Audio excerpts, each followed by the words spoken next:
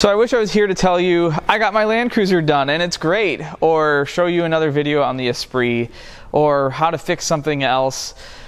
But I'm here telling you that someone needs to take my Copart membership away. Uh, I have bought yet another project car. Now, it's not a humongous project car, and I, I say that it's not like another Land Cruiser with an LS swap.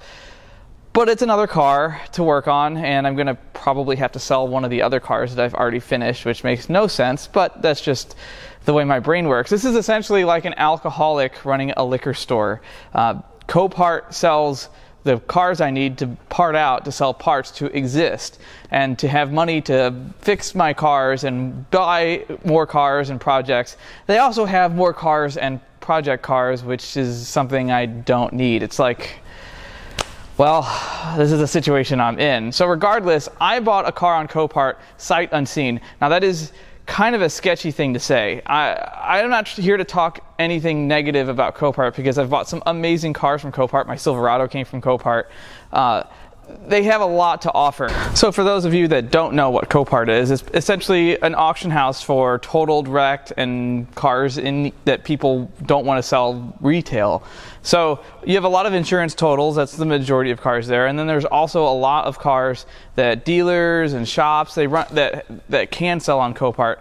They run through the auction based because they just want to get rid of it. It's got a mechanical problem, a blown engine, and Copart does their best to describe what's wrong with the car. Sometimes they catch it, oftentimes they don't. Uh, that's what you got to be careful about. A lot of cars like the crappy 330 Ci behind me with 98,000 miles, uh, it may appear to be wrecked and they may say front end in the actual listing, but what is really wrong with it, like this car, is it has a blown head gasket. So what likely happened is some shop got this car, they fixed the front end, and they're like, ah, crap, the engine's bad. Well, let's just pull the bumper off and run it through the auction and cut our and you know try to recoup our losses. And it's not a bad strategy except for the fact that you can't always go and check out a car and run it and drive it and make sure what's wrong with it or not. Now they do offer an inspection service which i did pay for on another car and it isn't as thorough as you hope. It's not like a PPI on an expensive car where they run it and drive it down the road and check it for leaks and run it at operating temperature for an hour and check all the windows. They don't do that. They just take more pictures and give you notes on what they find and if the car actually does run or not. So, by definition, Copart's run and drive is that the car will start in any capacity. It can have rod knock or it can run perfect, and it will propel itself a certain amount of distance, whether that means it only has first gear or it barely makes it across the parking lot that's a run and drive. Now, it could run and drive just perfect, and you can kind of surmise by the picture. Well, yes, that car has uh, a car's been hitting the wheel. That's why it's only engine start and it doesn't drive. Or that car should run and drive. The wreck isn't that bad. Why does it not run and drive? Or why does it say mechanical on it? So there's a whole lot of things to consider when you're buying a car from Copart, especially if it's something that you're trying to put back together, or even to part out if you're buying a critical part that's often expensive or hard to find. So let's talk about what I actually bought. Uh, so I was actually on the hunt for an E46 M3. I don't need an E46 M3, I just wanted one. Uh, I've kind of liked those cars for a long time, but I have a couple very strict rules that made just going out and buying one uh, quite difficult. I was planning on replacing one of my E36s with it. Um, I can't own a silver car. I just can't do it. I don't want another convertible. I don't want a black car. So I don't want a gray interior. So it, it got really, it got, it was very difficult to just go out and find one. I also want to buy one cheap enough to where I could buy it, own it for a while, and sell it without a huge cost to myself. Maybe even make some money on it, like I did on one of my other E36 M3s. So I began looking everywhere on IAA, on Copart, you know, on Craigslist, on Facebook Marketplace, and all the different Facebook groups. And cars would pop up and sell. They were all over the country. Um, and I found the first interesting one was a Mystic Blue on cloth, black cloth, uh, 05, which was just beautiful. It had some modifications. It was in it, it was in Georgia. Uh, but then I did some digging. Now, if you're going to buy something that you want to keep for yourself, and uh, you are kind of hesitant because you can't go look at it because say it's a Copart, uh, you kind of want to go uh, and do some investigation, do some research. So Google the VIN number and then go under image search. It, a lot of times it'll pull up past auctions. So just as you would, uh, you know, have a PPI done on a fifteen or twenty thousand dollar example of an M3 or something else, or go look at it and get underneath it if it's local. Uh, you need to do your due diligence, and you can only do so much. But one of the things you can do is that Google image search. Now, uh, I wish Copart would let you see the previous auction number. That would kind of alleviate a lot of problems, but I can understand why they don't want to do that. So you can still find it if you dig. So I dug on that Mystic Blue car and I found that it was a, I, it said flood history in the auction that I found. And then when I did my little, a little bit of research, I found the actual the actual the original listing. So what happened is the car was flooded, and I saw the original pictures where there was a water line a third of the way up the door. Well, that's a little higher than I really want to deal with. I'll deal with a low level flood, wet carpets, not a big deal on those cars. Uh, but I was kind of turned off with the height of the water, so I stopped bidding on it. Um, but so what ended up happening with that car is that someone took the front end apart and made it look like it was wrecked. So Copart put the initial loss as front end and secondary as flood, you know, flood certificate. So it leads you to believe that it was a running driving car and it got in a front end collision. Well, they said it ran and drove, and it could have run and drove. I, I really don't know. Um, but I, I bowed out because I didn't want something that was damaged that way. So I continued my search, and something very special popped up. And as you can see, it's behind me. This is a 2002 Laguna Seca Blue on black six-speed coupe. Uh, a car that most people never get the chance to buy. Um, it's just a very sought-after color. Uh, they, they, those car, these cars bring a lot more money, so to go out and buy one retail is pretty impossible. So obviously, when this car popped up, I thought, oh, a Laguna Seca car. Uh, why is it there? So I looked at the listing, and here's what the listing looks like. As you can see, uh, the actual listing, sorry about my, my cat wanted me to buy it too. Uh, the actual listing uh, that I saw uh, showed it as front end damage and a grill was missing and the front bumper had some some damage on the right front. But uh, it said it ran and drove 111,000 miles on it and the rest of the body looked really nice. Had a couple aftermarket things, but a lot of these cars do. So it looked like a pretty well taken care of car and that's what it looked like. So uh, I decided to do some more research on it. A couple things didn't seem right to me. Uh, the car looked way too nice to be at Copart. You'd think that a car like this, you would just go ahead and retail. You just go put it on a lot, uh, or put it on Auto Trader or Marketplace, and it would sell fast because these cars in this color sell very fast. A six-speed, any E46 six-speed coupe sells fast. So, what you know, I, something's wrong here. There's a question. So I started to do some more research. So I Google image searched the VIN four or five different ways, and I found pictures from IAI where the car was. That a car that looked similar, but it had different wheels on it, and it had exhaust and an intake and suspension. I thought, well, that's that's not the same car, but why is my VIN pulling this up? So then I found uh, a previous Copart lot number. And if you go on to Copart and you find a lot number, you can type in that lot number and it will pull up the previous auction. I think it goes back a year. It may go back even further. I'm not sure. But uh, I found a listing from uh, California, and granted, this car was in Georgia. This car was in Atlanta, Georgia.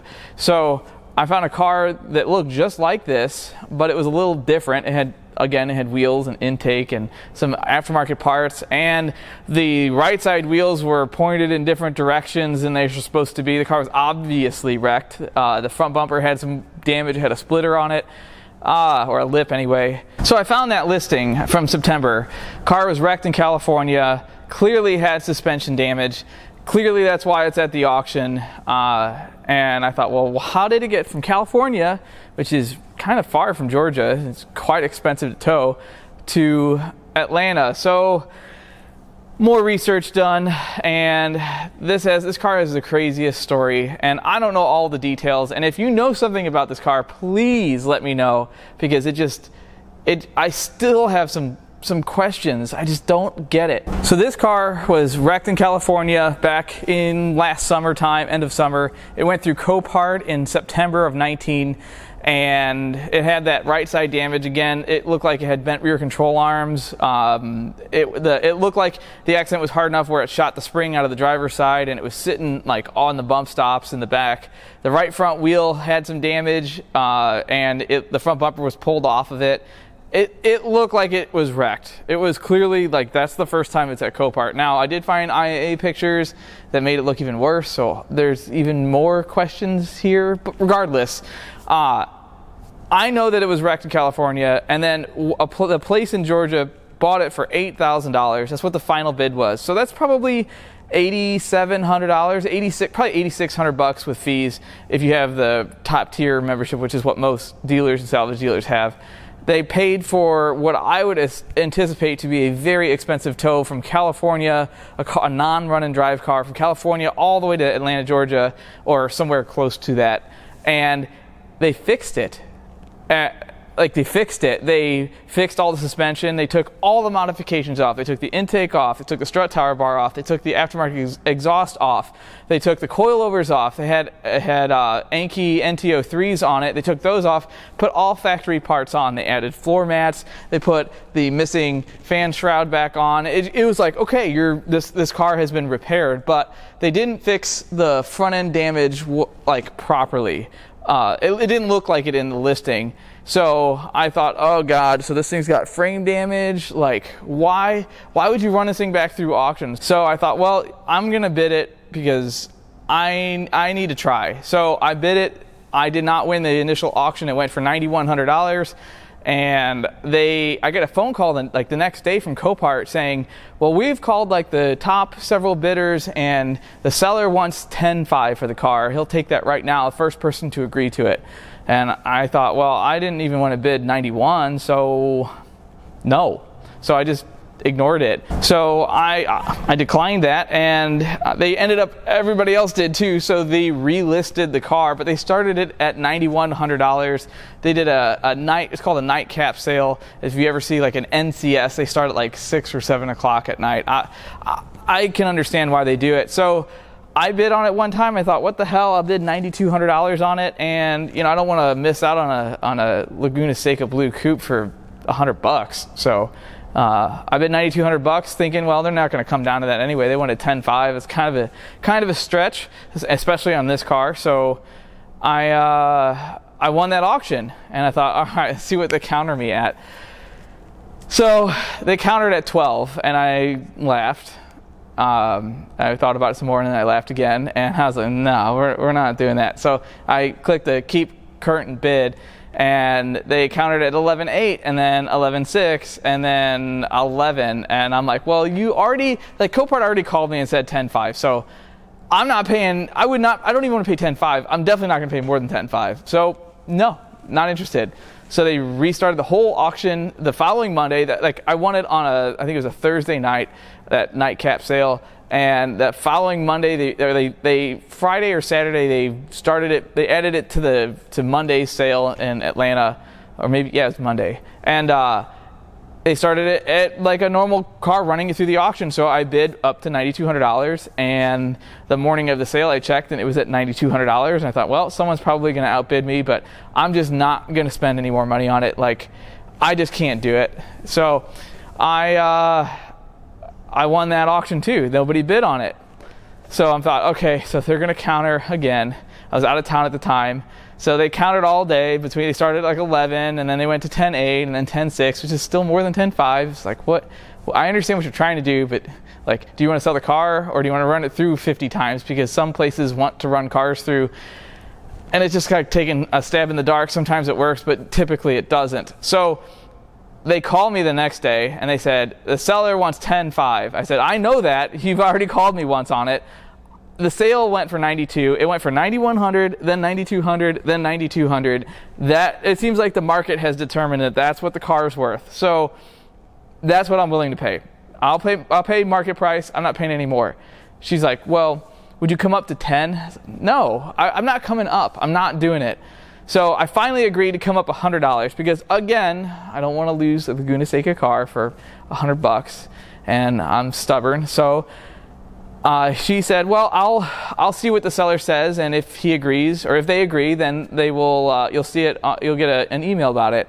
So about three hours later, I got an email saying that I won lot number or my sealed bin, bid was high enough, and I about fell out of my chair. They they they they agreed. So here I am uh, with a now now I'm in this car ten thousand fifty three dollars with fees. It went for ninety three hundred plus fees. Uh, so it's like you know 750 bucks in fees. And I thought, oh my god, I got so much money into an E46 I, I haven't even laid my eyes on.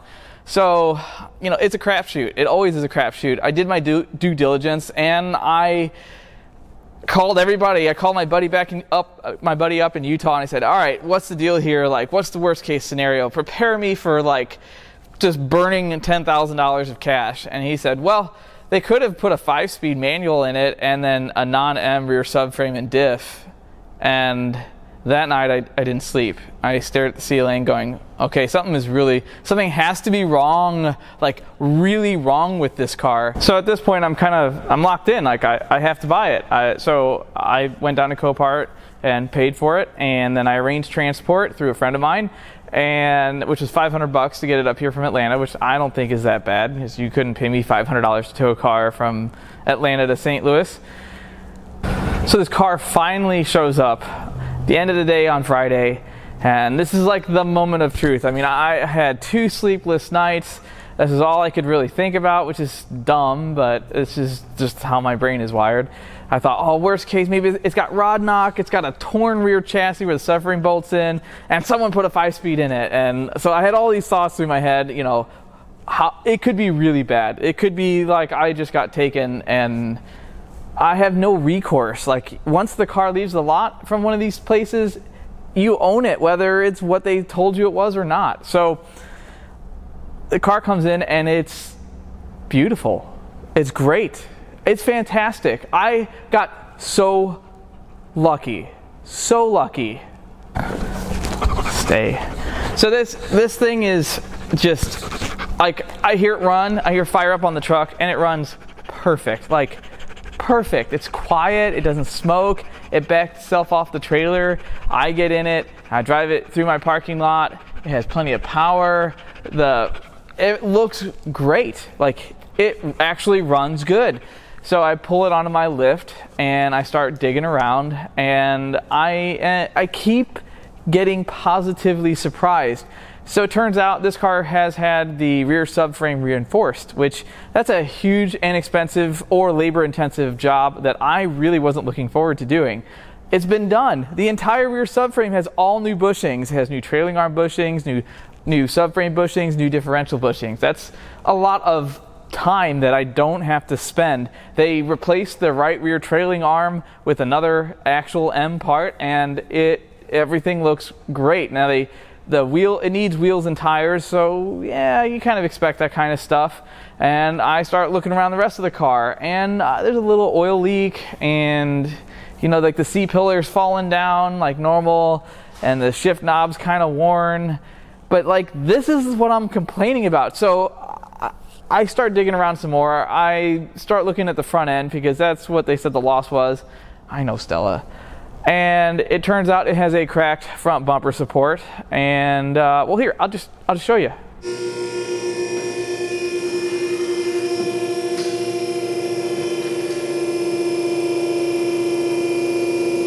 So here's the real damage here. As you can see, the front bumper support is broken, the carbon fiber is broken, and there's some stuff that's not quite right here. I'll probably have to put a bumper support and brackets on it, and it may even need a core support, but it's probably not going to be that bad. Uh, nothing is really terrible, like it really isn't. It's going to need a front bumper, and I'm probably probably going to put a fender on it because that's just ugly. But that should straighten this thing out. I mean, I'm not going to say that it's just a walk in the park, but it's not terrible. It's uh, and I, I, didn't want some super clean virgin car anyway that I couldn't drive or was scared to take out of the garage. So this thing just looks just looks great. I mean, it's not perfect. It's a you know 2002 BMW, and these cars are often driven hard, and uh, they're not always owned by the best of people. But it's actually pretty nice. Now this is the corner in question. Um, as you can see, nothing seems to fit very well, and the fender makes contact with the door there, and the gap is huge at the bottom. So this corner needs some sorting, but it's it's not bad. Uh, you know, I'm going to put a fender on it. Nothing looks like it's bent up here. So I'm like, usually can tell by how things are aligned. It's got like a silicone heater hose hit kit on it, which is nice. Um, again, like whoever put this car together, they re- replaced a bunch of the parts that were missing uh, and obviously, they returned the car to factory, which I would have done anyway because, well, I, I am I'm, I'm an old man now, so I, I want a factory car. The only thing about this car that I didn't really like, and you can't really tell from the pictures, is that the rear fenders have been rolled. So they're really thin here. It's not something that I will probably fix, not for a while, but I maybe down the road. It's got a couple dings here that you couldn't see in the picture, but it's really not bad. Uh, I just, I got so incredibly lucky, and that's what it was. It was just luck. I mean, the interior's nice. The driver's seat's a little worn, but I mean, it's luck. This just, just there's no other way around it. This is this is just luck.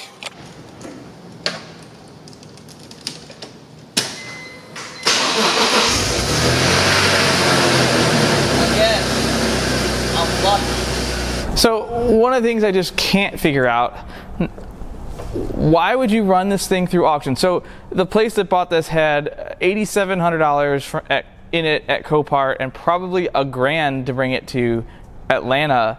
So they had $9,700 for it and they sold it to me for 93 and it wasn't free to sell it. So uh, the aftermarket parts that took off, maybe a thousand bucks worth. The intake is like the only thing that probably survived without major damage. And coilovers are not expensive for these cars, and exhaust could be, but it looks pretty rough in the pictures. So, like, what what gives? Like, what what happened? Why? Anyway, these are questions that I'll probably never get the answer to, and that's okay. But it would be nice to know. So you might ask, well, what are your plans for this car? So I'm just going to I'm going to fix it. I'm going to put a bumper support and bumper support brackets on it and some proper headlights that aren't black housing. Uh, put chrome grills back in it because that's what it was sold with. Put uh, some tires on it, a right front fender, maybe have some PDR done on it and kind of straighten it up, some small interior work, fix the oil leaks. I'm going to put rod bearings in it because I don't have any maintenance history on this car. And enjoy it because these cars are a blast to drive. And I wish I could keep my E36, but I already have I have two, and I now I'm going to have one E36 and one E46, and that's how my brain works. It can rationalize keeping one or multiple of everything. Anyway, this is going to be part one. Next episode on this car is going to be me ripping the front end off and probably uncovering a whole bunch of things that are going to make me curse. But I don't care. Uh, so stay tuned, subscribe, and hopefully you enjoyed the video.